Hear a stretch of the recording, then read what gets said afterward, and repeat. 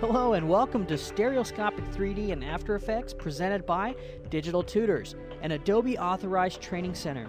My name is Papa Giorgio and I've had the opportunity of teaching in the CG industry for over a decade. And I've had the privilege to teach millions of artists from a wide range of companies like Pixar and Rhythm and Hues to faculty and students at awesome schools like Ringling and the Art Institutes. And now I'm excited to guide you through our exploration of Stereo 3D and the process of building stereo camera rigs directly inside of After Effects. Now, this is something you definitely won't find out of the box.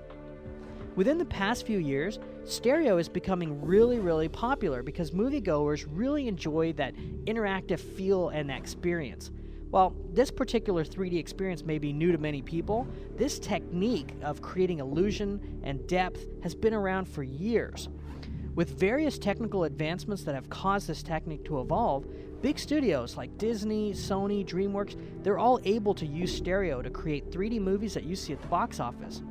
And due to the high demand from studios and artists, the motion graphics team here at Digital Tutors spent the past two months dissecting the stereo pipeline and built custom curriculum uh, for you so you can learn that workflow and technique on how to build your own custom stereo rigs inside of After Effects in a matter of hours.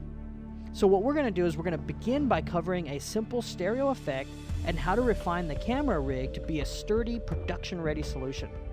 Then we'll spend a great deal of time going over the math and the formulas used to properly create stereoscopic imagery.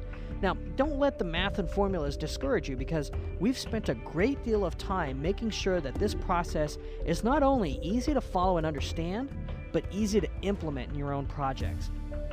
After we get all of that foundation built, we're going to talk about the process of taking a 3D object out of an application like Maya, or you could use any application for that matter, use it uh, inside of After Effects while still keeping the object as a 3D object. We'll then use that object to produce a stereo render within our custom rig. And finally, we'll talk about doing some color correction of the anaglyphic renders, as well as how do we composite an- anaglyphic renders from different rendering packages like uh, a package from Maya, for example.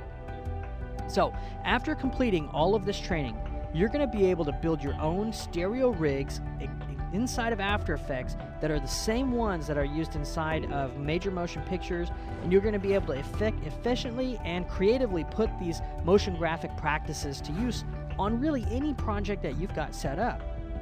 As an added bonus, we've added a pair of anaglyphic 3D glasses for you. If you're purchasing the e-download version of this product, not a problem. You're gonna we're gonna mail those directly to you, so that way you can follow along with the training. Um, so it's gonna be pretty exciting.